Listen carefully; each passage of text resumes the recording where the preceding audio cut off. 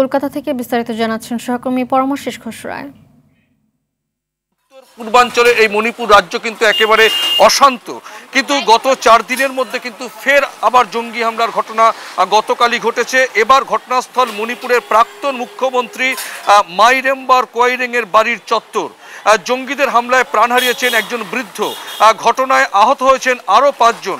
গতকাল শুক্রবার বিকেলে ঘটনাটি ঘটেছে বিষ্ণুপুর জেলার আহ, ময়রাংয়ের একটি আবাসিক এলাকায়। এখানেই মণিপুরের প্রাক্তন মুখ্যমন্ত্রীর বাসভবন। প্রশাসন সূত্রে জানা যাচ্ছে সেখান থেকে একটি অত্যাধুনিক রকেট পাওয়া গেছে। এই রকেটের সাহায্যে বোমা ছোড়া হয়েছিল বলে মনে করছেন কিন্তু তদন্তকারী আধিকারিকরা। এক আধিকারিক জানিয়েছেন শুক্রবার এই জেলায় এই ধরনের দুটি রকেট নিক্ষেপ করা হয়। দ্বিতীয় রকেটে বৃদ্ধের প্রাণ যায়। তিনি তখন একটি কম্পাউন্ডে কিছু ধর্মীয় আচরণের জন্য প্রস্তুতি নিচ্ছিলেন। সেই সময় বোমা বিস্ফোরণ হয়, তিনি ঘটনাস্থলেই মারা যান। এছাড়া তেরো বছরের নাবালিকা সহ আরও পাঁচজন এই বিস্ফোরণে কিন্তু আহত হয়েছেন বলে খবর। রকেটটি আইএনএ সদর দপ্তর থেকে প্রায় দু কিলোমিটার দূরে।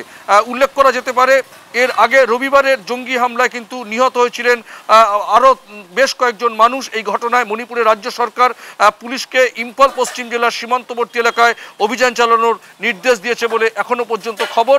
এই ঘটনায় কিন্তু স্থানীয় মানুষের সঙ্গে কিন্তু প্রশাসনের কিন্তু একটা অশান্তির বাতাবরণ তৈরি হয়েছে। আমরা জানি যে জাতি দাঙ্গায় কিন্তু মণিপুর দীর্ঘদিন ধরেই অশান্ত। কলকাতা থেকে জানাচ্ছিলেন পরমাশিস ঘোষ রায়